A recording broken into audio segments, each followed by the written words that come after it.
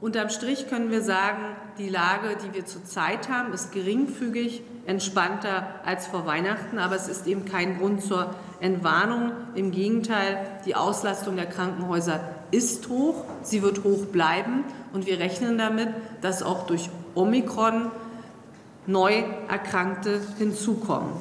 Wir haben momentan in der Corona-Warnstufe Orange das ganze Land und in fünf der acht Kreisen und kreisfreien Städte, nämlich im Landkreis Rostock, der Stadt Rostock, der Mecklenburgischen Seenplatte, in Vorpommern-Greifswald und Vorpommern-Rügen, steht die Ampel weiterhin auf der Stufe Rot. Und deshalb müssen dort leider weiter die Freizeit- und Kulturbereiche geschlossen bleiben. Neben den Schutzmaßnahmen, die wir ergriffen haben, ist der beste und wichtigste Schutz für die Bürgerinnen und Bürger das Impfen. Mittlerweile haben 72 Prozent der Bürgerinnen und Bürger eine Impfung erreicht. Wir haben Zweitimpfungen erstmals über 70 Prozent. Wir liegen jetzt bei 70,1 Prozent. Ich möchte mich ganz herzlich bei diesem großen Anteil unserer Bürgerinnen und Bürger bedanken, die sich impfen lassen, die Vertrauen in die Impfung haben und hier auch mit gutem Beispiel vorangehen für ihre eigene Gesundheit und für alle anderen. Wir haben die Beschlüsse in Mecklenburg-Vorpommern konsequent umgesetzt. In Mecklenburg-Vorpommern gilt die Schließung der Diskotheken, gilt 2G+.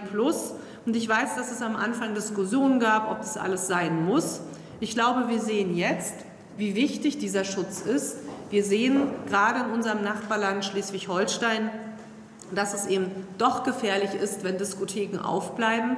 Und deshalb appelliere ich an alle Bürgerinnen und Bürger, dass wenn wir hier Dinge einschränken, zum Beispiel die Diskotheken schließen oder sagen ins Restaurant bitte nur mit 2G+, dass es bitte keinen Sinn macht, in ein anderes Bundesland zu fahren, wo es lockerer ist und diese Angebote nutz zu nutzen. Alle Menschen, die jetzt in der Diskothek in Schleswig-Holstein waren, auch aus Mecklenburg-Vorpommern, sind jetzt in Quarantäne und haben sich vielleicht auch angesteckt. Wir schränken in unserem Land nichts ohne Not ein. Wir machen es nur, wenn es dringend erforderlich ist. Und dann sollten wir uns auch alle daran halten. Deshalb bin ich aber auch ganz klar dafür, dass jetzt diese Schutzmaßnahmen bundesweit gelten, bundesweit 2G, bundesweit Schließung von Clubs und Diskotheken. Denn aufgrund der Mobilität macht es keinen Sinn, dass ein Land sich an diese strengen Regeln hält und dann in einem anderen Land diese Regeln nicht umgesetzt werden. Dazu ist die Gesamtlage in Deutschland zu ernst. Ein zweiter wichtiger Punkt ist, dass wir uns auf die Belastung unserer kritischen Infrastruktur bei Omikron einstellen. Dazu haben wir bereits vor Weihnachten einen Krisenstab bei unserem Innenminister im Land eingerichtet. Ich danke ganz herzlich Herrn Pegel und allen, die bei diesem Krisenstab mitarbeiten.